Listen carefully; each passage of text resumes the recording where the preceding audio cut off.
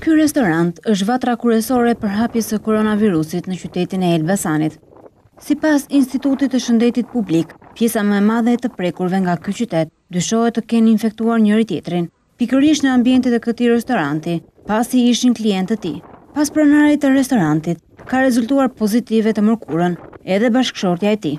Çifti i bashkëshortëve i cili dyshohet të jetë infektuar nëpërmjet restorantit të cilin e mbanin të hapur, ka detyruar ISHP-në të kërkojë bashkëpunimin e policisë në sekuestrimin e kamerave të sigurisë të ambienteve ku dyshohet të jenë përdorur nga klientët gjatë fashës ku nuk lejohej të qëndronin të hapur.